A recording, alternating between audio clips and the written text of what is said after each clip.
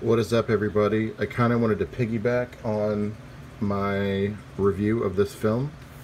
I've had at least three people already ask me or were asking about how to pick this one up.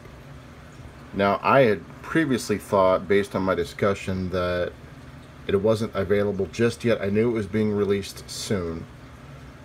I'm going to put the link in the description to the website. I believe it's screamteamreleasing.com. They have this film for $19.99. You can also get copies of it on eBay. But I will put the link in the description for you guys the way you can go pick this up. I paid 25 for this one shipped. I think there's just 20 shipped. And you might be able to get it snag it cheaper on eBay. But um, I will put the link for you guys here in uh, this description and go get it guys. This series is worth it. I think you can even pick up the first one as well on that same website or eBay. So let me go ahead and put all the links in and uh, enjoy your evening folks